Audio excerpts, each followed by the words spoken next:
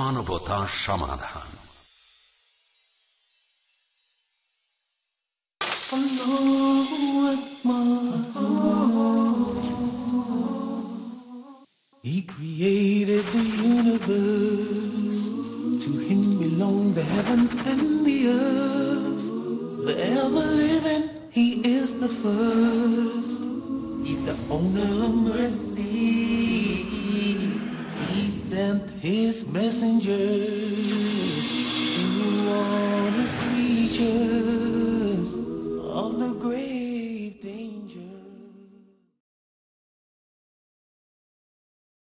This is Rishi Majumdar from Tehelka magazine in an interview with Dr. Zakir Naik. Hello, sir. Dr. Naik, through uh, childhood and adolescence, what was it that shaped or defined your understanding of Islam? And if there are any particular incidents which you'd quote, which were sort of turning points in your understanding of Islam? alhamdulillah wassalatu wassalamu rasulillah wa ala alihi wa minash shaitanir rajim bismillahir rahmanir rahim rabbi shrah li sadri wa yassir li amri wahlul 'uqdatam min lisani as far as my understanding is concerned alhamdulillah i had parents who were practicing muslims mashallah. So since childhood mashallah i'm a practicing muslim. But the turning point in my life was that i was just average muslim offering salah fasting just like any other muslims. But the thing that turned my life around was when I met Sheikh Ahmed Deedat. Sheikh Deedat happens to be from South Africa and he's called as the Muslim scholar of the Christian Bible. And when he came in Bombay in December 1987, when I was doing my second year MBBS in Nair Hospital, TN Medical College, when I met him, that was the turning point of my life. After meeting him, I felt that besides being a good Muslim, it's the duty of a Muslim that they should spread the message of peace throughout the world. Could you elucidate a bit on this meeting, on what this meeting was like? Did you see him? Did you hear him when he was uh, speaking, or did you meet him straight away? Could you just uh, describe it in a bit of detail? I had seen him before because he had many video cassettes. So initially I had seen him on video cassettes, but when he came to Bombay, it was the first time I met him face to face. And after meeting him face to face, that is the time I was inspired more. And after he left, I used to see his video cassettes. So that was the turning point in my life that changed me from doctor of a body to doctor of a soul. As a person, when you saw him in the flesh for the first time, personality like that, what was it about his personality which drew you the most, which affected you the most, or influenced you the most? And in what way? Because you had seen him before, so you had heard his preachings, you knew what he had to say. But when you meet him, what met him, what was it that struck? Whenever you heard his videotapes, you realize that he's a person who used to present Islam in a logical way. And at that time, in the 80s, Right. We found that Islam was being maligned, it was being maligned. And the way he replied to the allegations against the people who wrote books against Islam, or especially the Christian missionaries who used to quote the Bible, quote the Quran, try to quote out of context, and try to prove the superiority of Christianity. So this is a man who comes and replies. So it makes the Muslims feel proud that we're Muslims. And after meeting him, seeing the person, how humble he was, and having a personal interaction, that inspired me more to see more of his cassettes. Right. Previously, I had seen a few of his tapes. Right. When he left, he had uh, given me many tapes, mashallah, over 100 tapes. And that's how hearing more of his tapes I got inspired, and that's how I started preaching the message of truth. Right. When you did decide to take that path, you had studied to be a doctor, you were working as a doctor. Your father is also a doctor. So when you took that path, was there any hesitation on the part on part of your family because you were not going into a conventional profession, so to speak? Yes, my father is a doctor, he's a psychiatric by profession, and my elder brother also is a medical doctor. Right. Initially, when I met Sheikh Ahmed Deedat in 1987, as I told you, I was doing my second year MBBS. Right. And later on, when I got inspired by him, by the time I finished my MBBS, my final year, then I told my parents that I want to give two hours every day for spreading the message of peace. And the balance, I will do my medical practice. My parents did not object there's no problem. Later on, I said that I want 50% time for spreading the message of peace and 50% time for doing my medical practice. Then my parents said, no problem. Then I said, I'll give two hours for my medical practice and balance for spreading the message of peace. They said, no problem. Then later on, I said I want to give 100% time for spreading the message of peace, and that also didn't object at all. So now, actually, I'm just a silent partner in the medical Right. business that we have. We have a diagnostic center, we have a clinic, general practice, etc. So at present, I'm just a silent partner. Right. I'm a 50% partner. My bread and butter comes from there. But I've dedicated myself fully, Right. honorary, voluntary, for the sake of spreading the message of peace. However, this dedication, like you say, was gradual on your part because Of it course. happened slowly. Of course. Actually, initially, my mother, she wanted me to be a heart specialist, someone like Chris Barnard. Right. And if you're aware that Dr. Chris Barnard also happens to come from South Africa, Right. from the same country where Sheikh Ahmed Deedat comes from. Right. And he was the first surgeon who did the first heart transplant. Right. So it was the desire of my mother that I should be somewhat like Dr. Chris Barnard. So when I asked her, after I got involved in the field of the message of peace, when I asked her that, would you want me to become like Sheikh Ahmad Deedat or Dr. Chris Barnard? So she said, both. Right. Later on, after a few years, when I got more involved in the field of spreading the message of truth and the spreading the message of peace, later on, after many years, when I asked her that, would you prefer me to become like Sheikh Ahmad Deedat or Dr. Chris Barnard? She said, I can sacrifice a thousand Dr. Chris Barnard for one Sheikh Ahmad Deedat. Right. This was later when once you had you were well on your way. What would you say were some of the most important things which you learned from your father and your mother, from your parents, as you grew up? Something is there something which you uh, were influenced by them in any way that stayed with you? Any essential thing that you learned from your parents which you would like to? Yes, most of my basic could say that the knowledge and my nature of humanity Right. was basically from my parents. That being a truthful person, never speak a lie, always be honest, try and work for humanity, that your main life should be dedicated for the cause of humanity. Right. And that was one of the reasons that I chose to be a medical doctor Right. because I felt that being a medical doctor was the best profession in humanity as far as human beings are concerned, and it is a good profession. But later on, when I found a better profession, when I had to treat the patients who were sick, Right.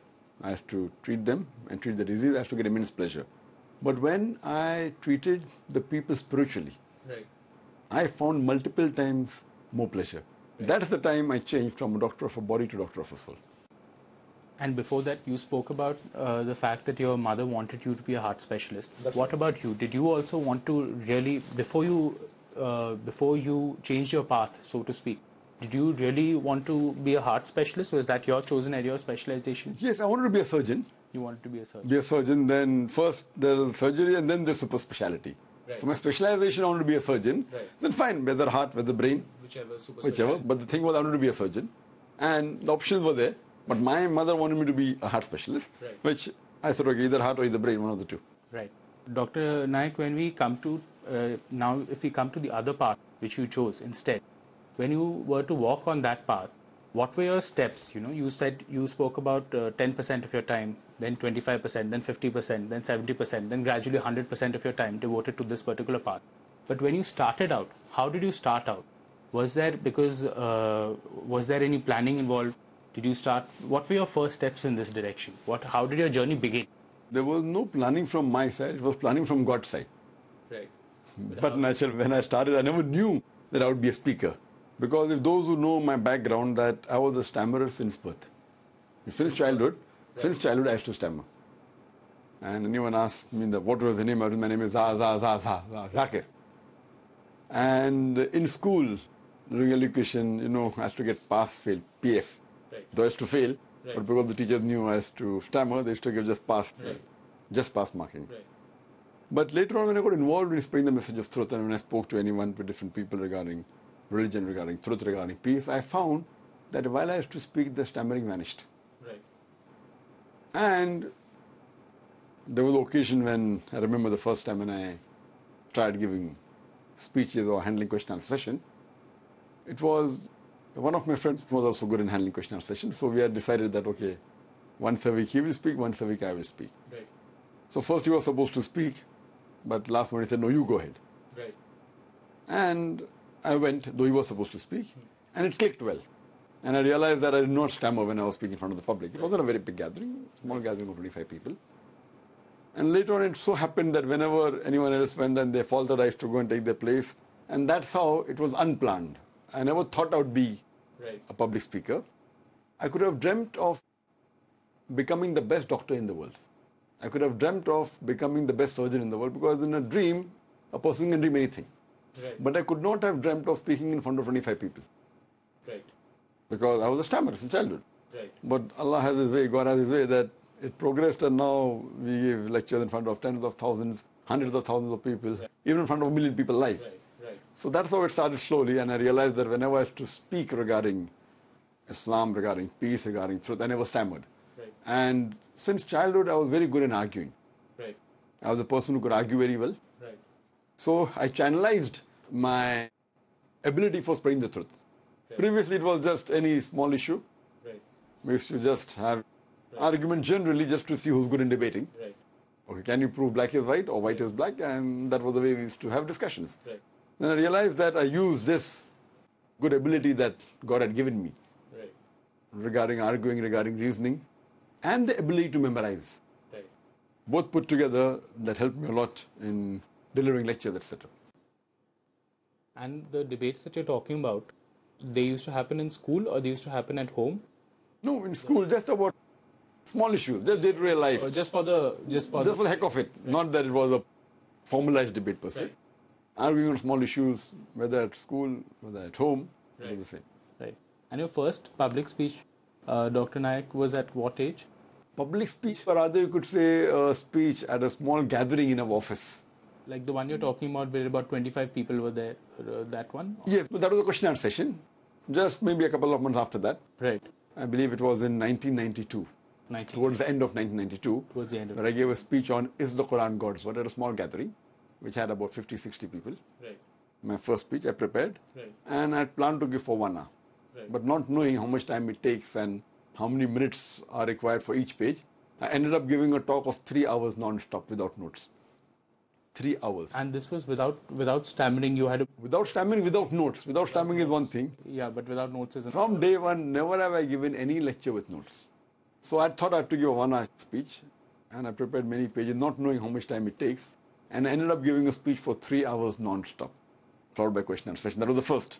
And the first public speech was in 1993. That's at Indian Merchants Chamber, an audience of about 500 people. The topic was Quran Modern Science. Then later on, it was 1994 right. and the topic was Women's Rights in Islam. That's at YB Chavan in Mumbai. Followed by press debate on the topic Is religious fundamentalism a stumbling block for the freedom of expression? Right. A topic dealing with Salman Rushdie Right. and uh, Taslima Nasreen. It was a debate which was organized by the press club, the Bombay Press. And the next public lecture was in 1995. Right. December at Birla Matushri, where about 4,000 people turned up. And after that, Right. from 1996, when I started giving lectures abroad, that was a turning point in my life when I first gave in Saudi Arabia. And I expected a few people to gather there, but there were more than a 1,000 people in Saudi Arabia. And that's how from there, my lecture tours abroad started from 1996 and it has continued Right. till today. Dr. Naik, how, how do you account for those thousand people turning up? Was it, was it that they were already acquainted with your uh, with your uh, speeches uh, through CD or through another media? Whatever few lectures that are given, that is Women in Islam, Right. is the Quran God's word or Quran modern science. They had been circulated on that was video VHS. At that time it was video. The internet and all. was Video not there cassette. At that time, right. It wasn't there at that time. It was more on the videotapes. Videotapes, right. And that's how some of the people had picked up and seen, and that's how the gathering Right. was there. Was there. Warn creatures of the grave danger. নবীজি মোহাম্মদ সাল্লাল্লাহু আলাইহি ওয়াসাল্লামের মণিমুক্তা জাবির ইবনু আব্দুল্লাহ রাদিয়াল্লাহু আনহু বলেন রসুল্লাহ সাল্লাহ সাল্লাম বলেছেন, পাঁচ ওয়াক্ত সালাতের উদাহরণ নদীর মতো, যার ঘরের নিকটে নদী রয়েছে, সে যেন পাঁচবার উক্ত নদীতে গোসল করে। সহি মুসলিম, প্রথম খণ্ড, সালাত অধ্যায়, হাদিস সংখ্যা এক হাজার চারশো এগারো।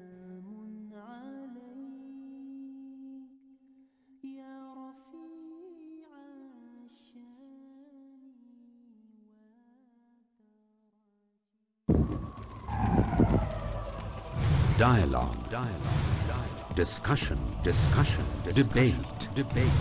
Debate. Rebuttal. Rebuttal. Rebuttal. Conclusion. Conclusion. Eliminate misconceptions about religion. Get enlightened. Witness Dr. Zakir Naik in a battle of words. দেখুন সম্মুখ সমরে প্রতি বৃহস্পতিবার রাত নটায় আপ পুনঃ সম্প্রচার সকাল সাড়ে দশটায় বাংলাদেশে পিস টিভি বাংলায় অতি উত্তম অর্থনীতি। অর্থনীতি সর্বোৎকৃষ্ট বাণিজ্য নীতি। বাণিজ্য নীতি সঠিক লেনদেন। বৈধ উপায়ে বড় লাভ। ইসলামী অর্থনীতি কত সুন্দরভাবে নূতন যুগেতে সফলতা অর্জন করেছে জানার জন্য দেখুন ইসলামী অর্থনীতি পরবর্তী অনুষ্ঠান পিস টিভি বাংলায়।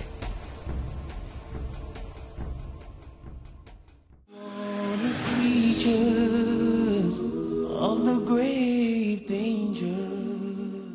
Have you prepared yourself as a speaker and through the ages, like from the time when you gave your first public speech and throughout, when you've, your audiences have grown? I mean, your speeches have become more demanding because you had to go for question answer sessions. How have you have you ever prepared yourself as a speaker in any way? Previously, as I told you, I never thought, even in my wildest dream, I could not have thought Right. that I would be a speaker. Right. It was more of, you could say, God's planning. I could have thought of anything else in the world but being a speaker because I used to stammer. Right. As I told you, that before my first speech, while handling the question answer session, Right. my friend was supposed to handle, and uh, he got cold feet. Right. And I substituted him, and I found that it was very successful, and the people liked because of the reasoning and the logic.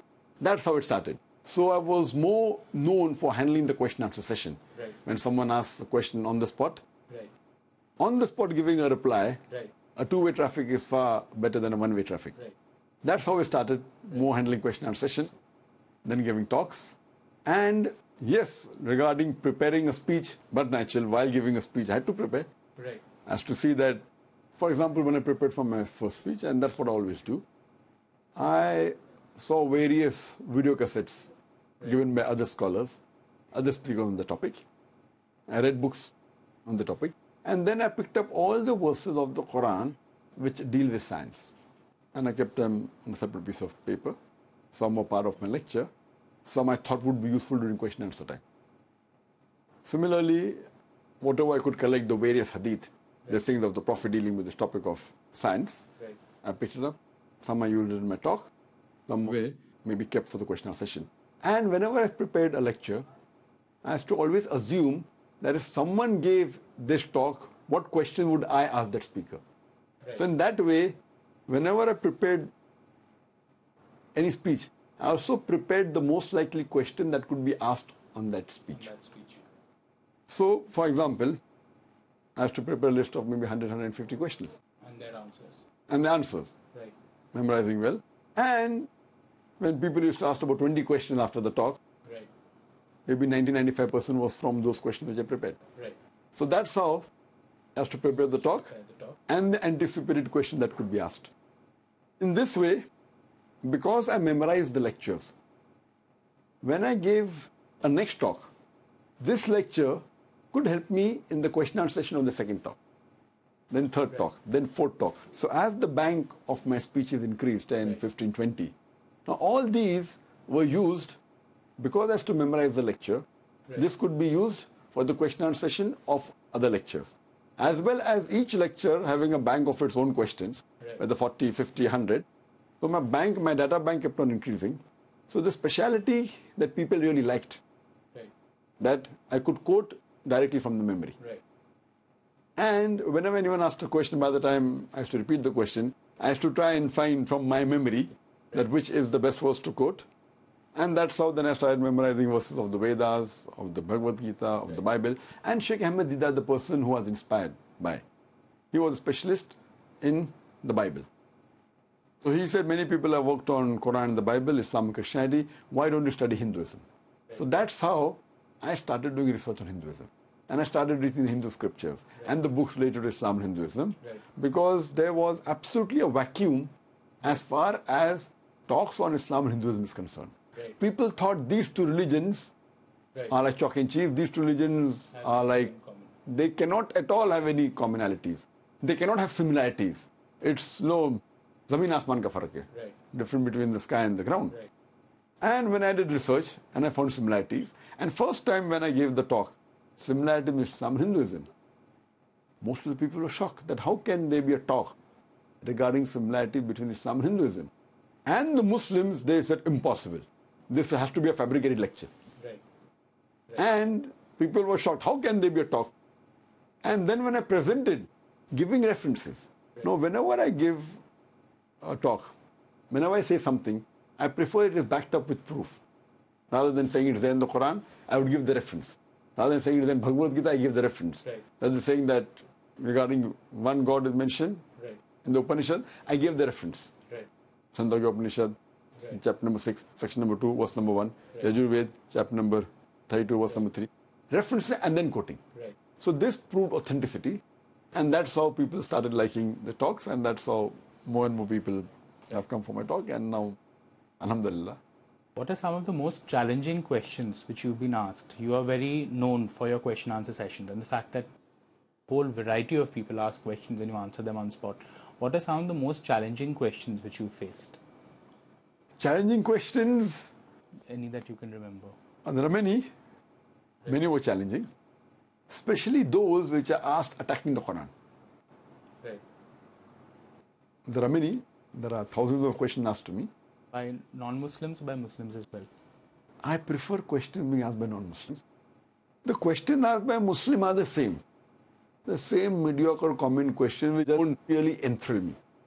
How to do this, how to do wudu, how to offer salah, which are nothing. It's general, which I feel they can ask any other person. Right. So why call a specialist? So that is the reason in my talk we say that first we give opportunity for the non-Muslims to ask questions.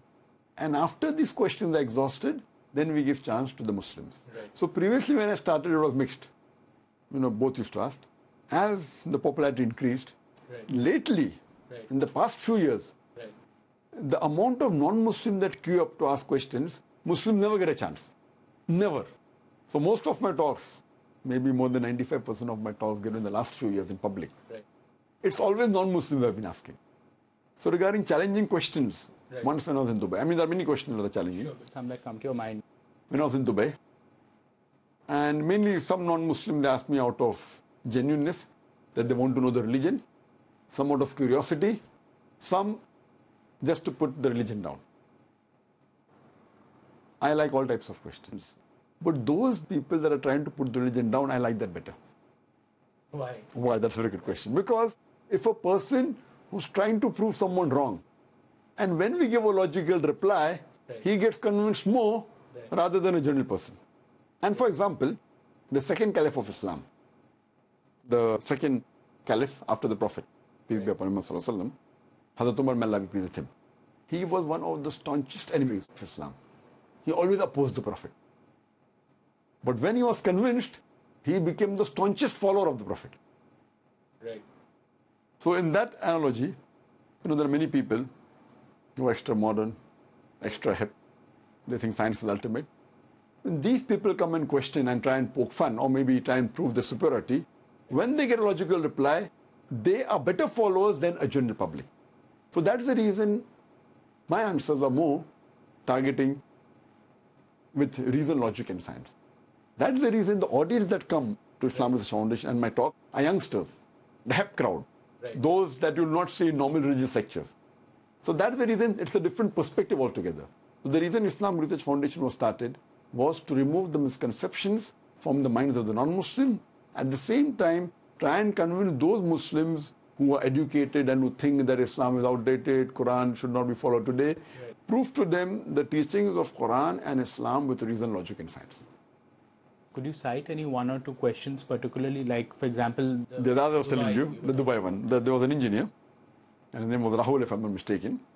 And when I go to Dubai, he's always asking questions. Right. I think it was in 2005 when I went to Dubai. So he asked me a question that when I read the teachings of Islam, I was told, and he quoted mentioned the Hadith, as the Quran, that the first word to be revealed of the Quran and the first verse to be revealed was Iqra, read. Right. The Archangel Gabriel he said, Right. being a Hindu knowing some background. Right. that when Archangel Gabriel told the Prophet, read, according to the hadith, saying to the Prophet, Man Abekari, I'm not learned. Right. So he said, I want to know what was shown to the Prophet that he said, I cannot read. Because according to historical records and according to the saying of the Prophet, nothing was shown. So when the Prophet said, I cannot read, what was shown to the Prophet and what was shown, where is it now? When the Archangel Gabriel told the Prophet, read, what was shown to him and that thing which was shown, where does it exist now? And if it's not, then this is a fabrication. The story is a fabrication. And believe me, as usual, I got up and I said, Brother asked a very good question. That's my normal style. And I repeated the question. Believe me, I didn't have the answer. But as I kept on repeating the question, that's the way I do many a time. God's help comes. And then I replied saying that you don't know Japanese. And if I say reading Japanese, will you show me show? And then you say that I don't know Japanese. If I tell you that reading Japanese, you won't tell me show what is it. You say I don't know Japanese. Right. So similarly, because the Prophet was illiterate, Right. he did not know to read, it's not compulsory that the Archangel Gabriel had to show him something Right. for him to say that I am not learned. Right. So what the Archangel Gabriel said, read, Ikra.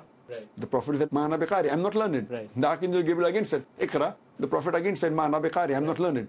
The third time when the Archangel Gabriel said, then the Prophet realized that Ikra has got many meanings. Besides read, it also means recite and repeat. So then the Prophet repeated.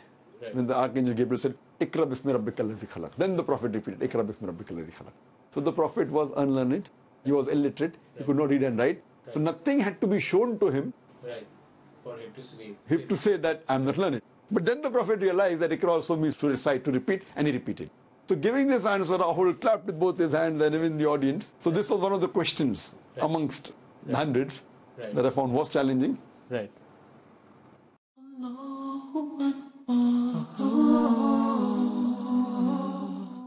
He created the universe. To him belong the heavens and the earth. The ever living, he is the first. He's the owner of mercy. He sent his messengers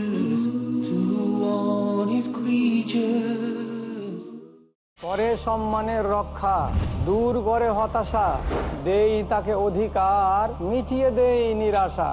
আমি মোহাম্মদ বদরুদ্দোজা আপনারা দেখছেন piece TV Bangla. ইসলাম নারীকে দিয়েছে কত উচ্চ স্থান, মান ও সম্মান, তা জানতে হলে দেখুন, ইসলামে নারীর অধিকার। দেখুন ইসলামে নারীর মর্যাদা প্রতি সোমবার সন্ধ্যা পাঁচটায় বা পুনঃ সম্প্রচার রাত বারোটায় বাংলাদেশে পিস টিভি বাংলায়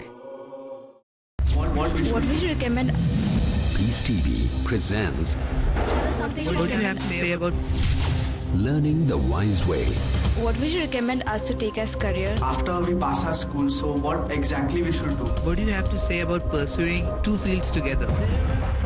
Ideas brilliant. strategy sustained.